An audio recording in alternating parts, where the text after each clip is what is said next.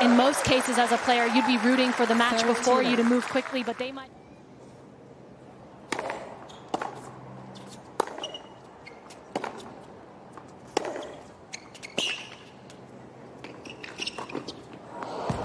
Uh, Rus blows the forehand long.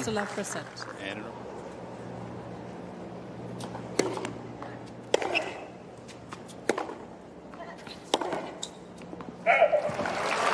26 minutes is all it took.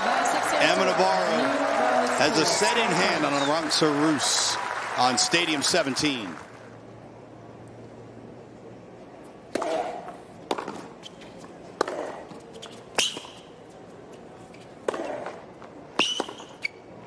Ah, well done. From a deep flying position, Navarro finds the pass.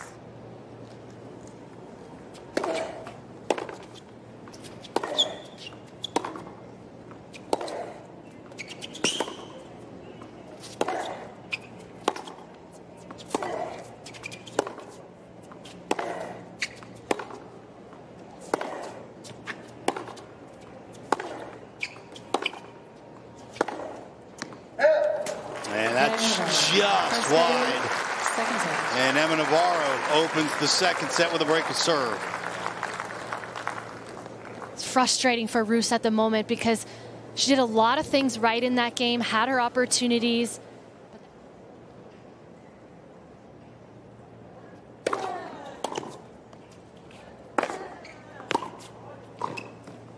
And that is well done by the Dutch woman.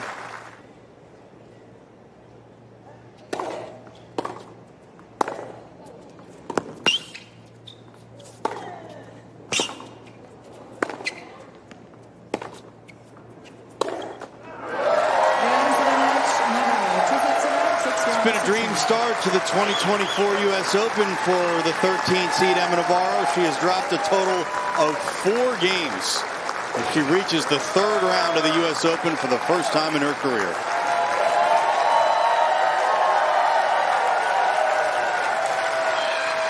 That was a nice little display of emotion there, some positivity.